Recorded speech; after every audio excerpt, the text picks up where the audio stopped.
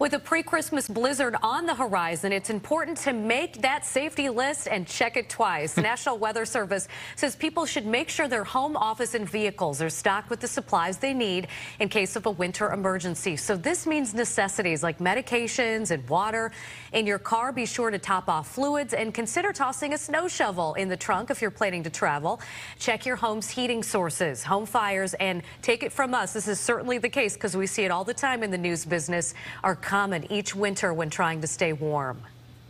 You should never use an alternative method to heat your home like the oven or stovetop burners.